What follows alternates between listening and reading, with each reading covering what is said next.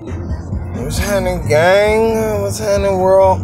What's happening, America? You see me out here, man, once again with the full fledged beer going on.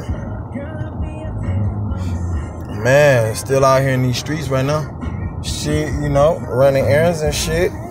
What y'all on, gang? What y'all up to today? On this cold ass day. And not so even cold though. Why I'm lying? I ain't even gonna lie like that. It, it actually feel good. It's pretty decent. You know how it be when it's snowing shit. You know what I'm saying? And, and, and the temperature rarely uh, go below. It feel pretty good. It's, it feel quite good. So um, I'm out enjoying it right now, man.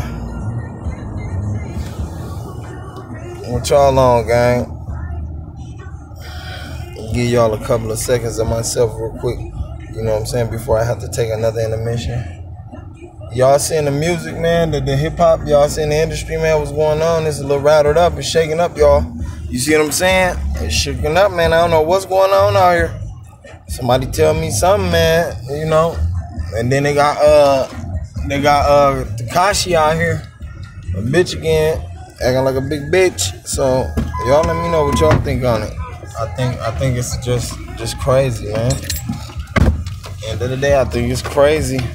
I think uh these rappers, you know, it's taking a toll on them, man.